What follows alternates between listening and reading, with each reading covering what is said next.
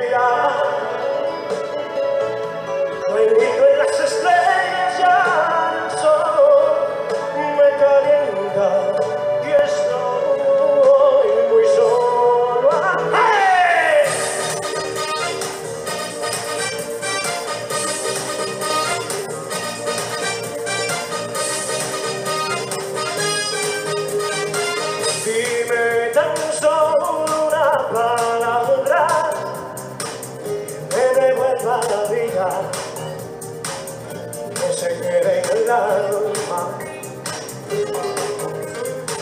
Porque sin